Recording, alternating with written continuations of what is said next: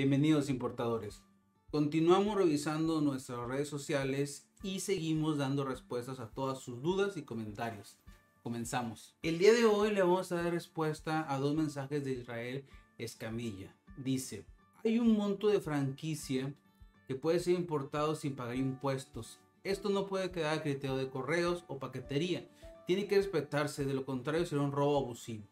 Es correcto tu comentario, Israel. En teoría la franquicia son menos de 50 dólares. No puedes rebasar más de 50 dólares.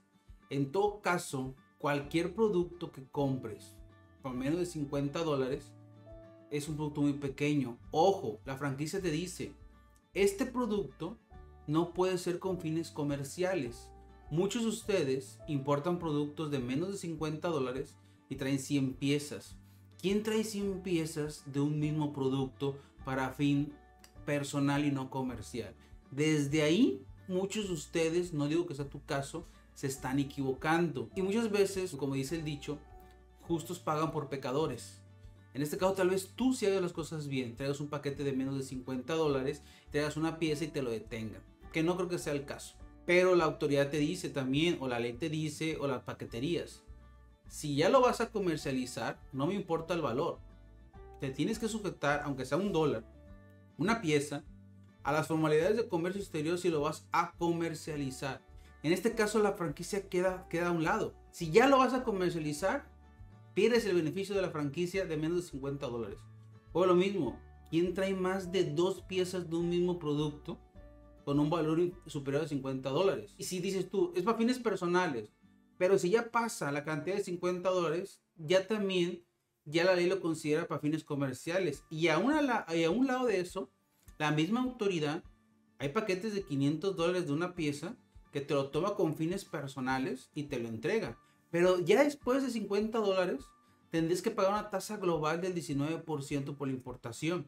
Y que la fracción arancelaria de tu producto no requiera ningún permiso especial como normas de seguridad, de salud, de sedena, etcétera, etcétera.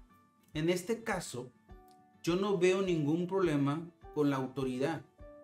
Yo veo problema con ustedes y que ven videos de gente que les dice que se importen. No, no es cierto. En este canal no van a escuchar mentiras. En este canal les voy a decir cómo son las cosas. Ustedes tienen una franquicia de 50 dólares hacia abajo para fines personales y para mí fin personal es uno o dos piezas de un producto que cueste menos de 50 dólares. Así de fácil. Si tu producto ya cuesta más de 50 dólares, vas a pagar una tasa global del 19%. Así de simple, aunque sea una pieza. Y si son menos de 50 dólares, pero son 100 piezas, ya no son fines personales, son fines comerciales. No le quieran mentir y no se mientan ustedes mismos, ¿va? Y como te digo, Israel, no, no, no estoy diciendo que sea tu caso. Estoy generalizando con la gente que me busca para pedirme ayuda, ¿va? Luego me dices, el impuesto de importación es del 27 de IVA más DAI. No sé de qué país sea eso, de dónde, la verdad. Es un robo si en Estados Unidos al importar de México a Estados Unidos es de menos del 8%. Cada país tiene sus impuestos. En caso de México el IVA es del 16%. En Estados Unidos cobran un impuesto similar que es por el 8%. Cada país tiene sus contribuciones. ¿No te gusta que en México te cobren el 16%? No vivan en México.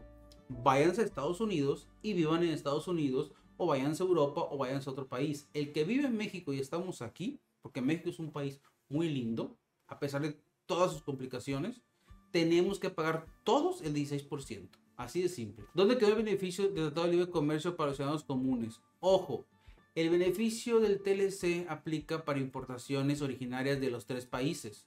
En este caso, todo lo que ustedes importan en su mayoría, generalizando, es de China. No hay TLC.